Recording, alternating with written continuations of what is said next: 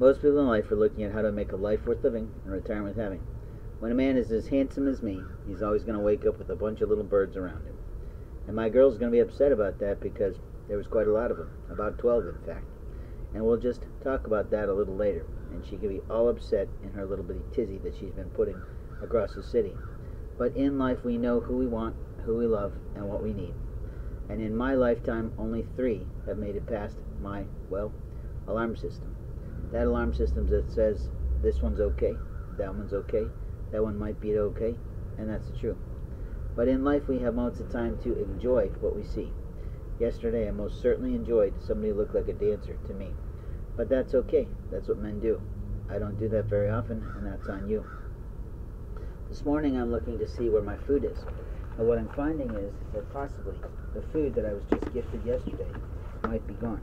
We'll see. You see, that's what people do who live in the city. They don't have any regard for you or for me. Their attitude is if it's out there, I'm taking it. If it's available, I'm making it. And that's not true. In your life, your job is to become the best you you can be.